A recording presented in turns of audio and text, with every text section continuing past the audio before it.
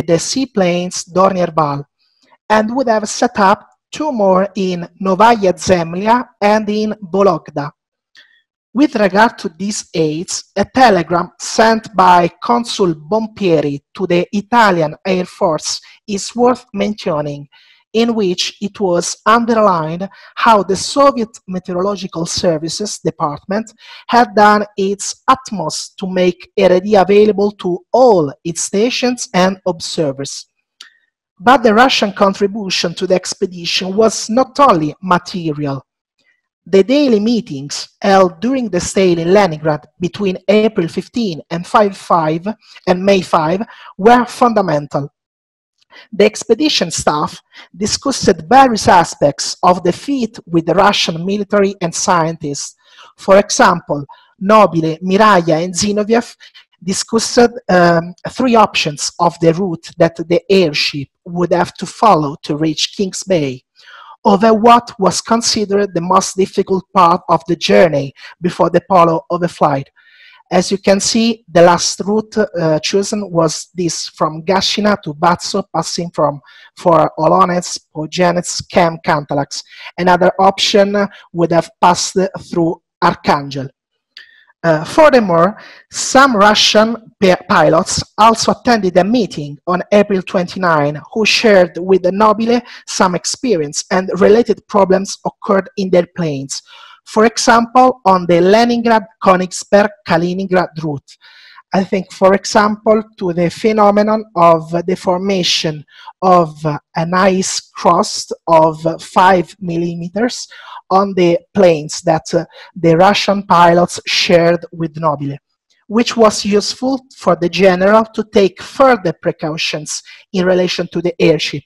For example, Nobile, um, starting from this um, view, decided to apply a kind of uh, um, miscela of glycerina and vasellina. The meetings took place in several places, from the home of the scientist Viktor Tikhomirov to the Zlak Observatory, now Pavlovsk, near Leningrad. The most important conversation was undoubtedly what the Italian correspondent Antonio Quattrini called a special meteorological areopagus, which took place at the Hotel Europa in Leningrad on Saturday the 1st of May from 10 p.m. to midnight.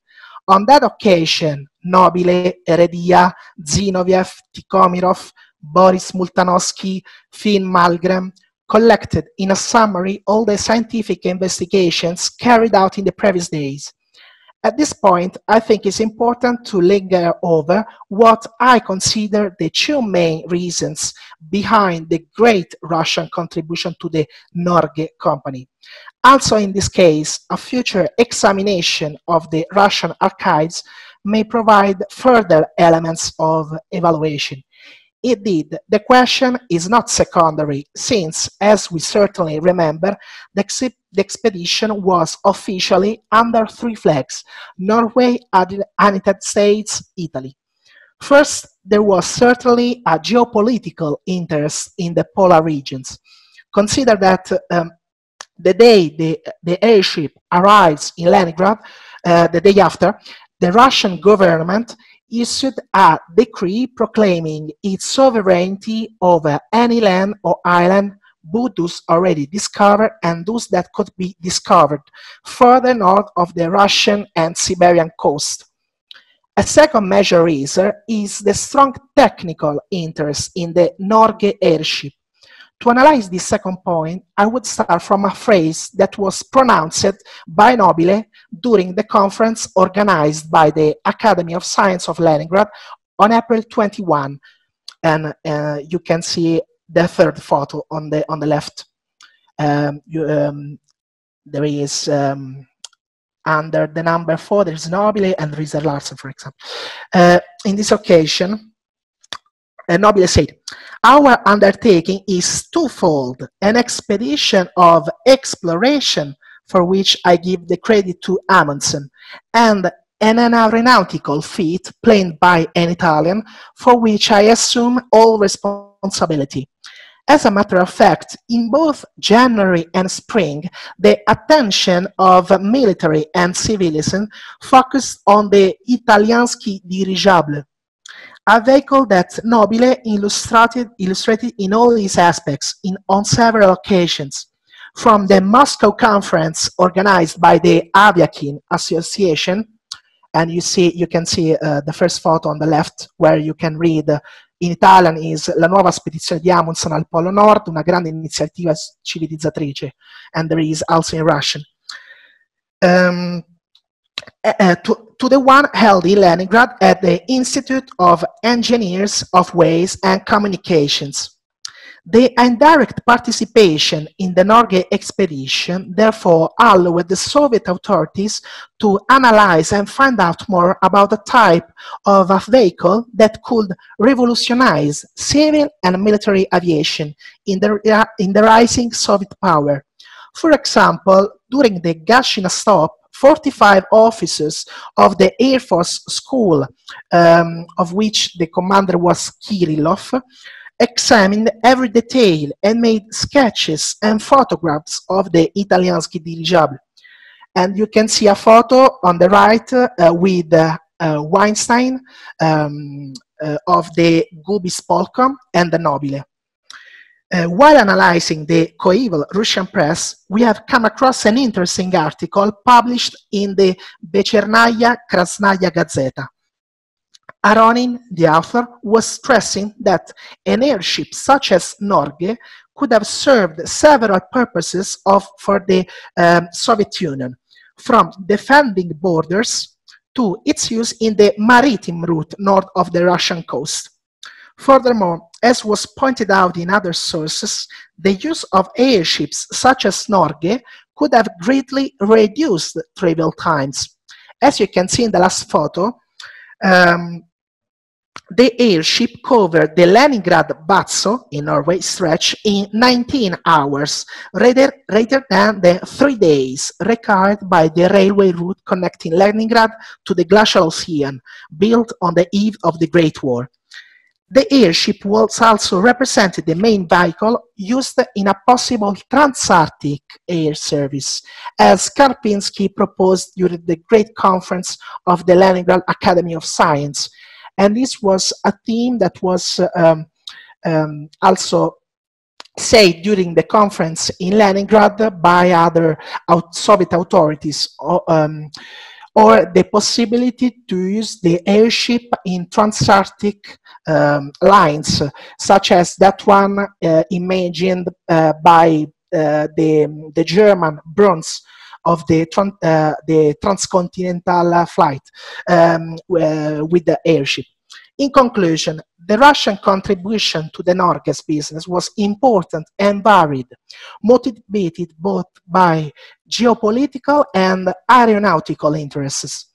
I also believe that in close connection with the Norge expedition, there is a wide range of issues that I would be glad to go to further investigate in collaboration with one or more scholars attending this important conference.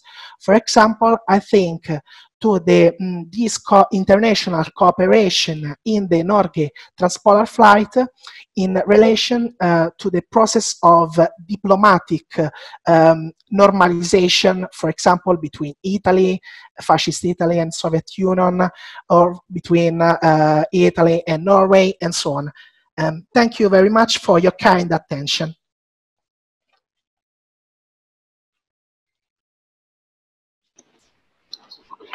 Thank you very much, Pierre. Uh, what about uh, questions uh, for you? Будут ли вопросы?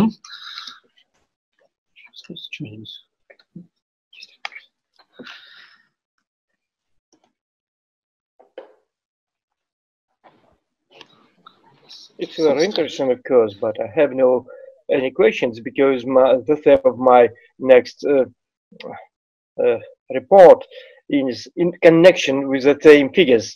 Uh,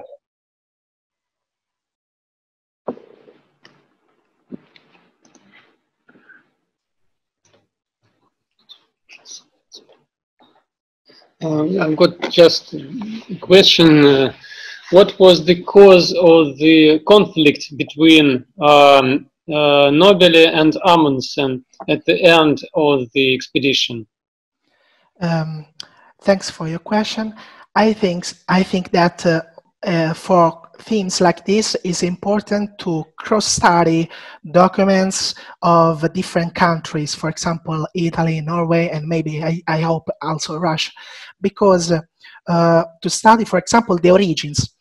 Uh, if we look at the documents kept um, at Vigna di Valle of uh, the or the Air Force uh, archive in Italy, there is um, a correspondence, a correspondence between Nobile and Bonzani and other uh, authorities, for example, about the name of the expedition, because uh, until February, until March, March, the official name of exp expedition was uh, Amundsen Ellsworth uh, uh, um, expedition.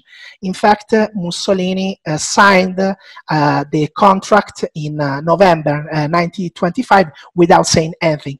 In a second moment, we, we, we can say that it was like a, a battle of prestige because uh, it was Umberto Nobile who wrote, for example, to Bonzani, and uh, he he does like an arringa in Italian is arringa, like a uh, to motivate why instead the um, the Italian the Italy Italy should have uh, be mentioned, for example, also in the name. So he, he says that Italians uh, were done, were um, have done uh, uh, the most things about the expedition, so on. And for example, he proposed another name. So I think that uh, um, you know um, uh, it's all it's all about a prestige battle. For example, and only the second, then I don't, I don't take time away from the uh, next uh, presentation. For example, just think about the idea of who thought, who thought first the idea to use the airship in Norwegian newspaper, we see Amundsen say, I thought first to use the dirigible. Instead, the Nobile, I used first. And we see like authorities like uh, Roncagli of the Geographical Society that says, for a lucky coincidence, they thought in the same time. So I, I think that uh, it's a, a, a, complex small thing. And just uh, a, a, last thing, if, for example, uh, on, on, what the importance to cross-study these documents is, for example, uh, of the um, a kind of cross uh, constructed uh, on of a memory. Because uh, if we take the original contract of the expedition that is uh, for example kept kept, kept in Bodo uh, in Norway he say that the leaders of the expedition are Amundsen and Ellsworth. Nobile is Luftskipet so like a driver. Instead, after this battle for prestige uh, of Nobile to be recognized as a third leader aeronautical. For example, there was a, a, manif a manifestation in Tromsø uh, in 1986 where there was created a stone, una, una lapide commemorativa, of we on uh, for the three leaders. So we see how uh, under a crust of memory, nationalism, geography, there is still uh, a lot of history that, uh, in my opinion, uh, ha has to be studied. Excuse me.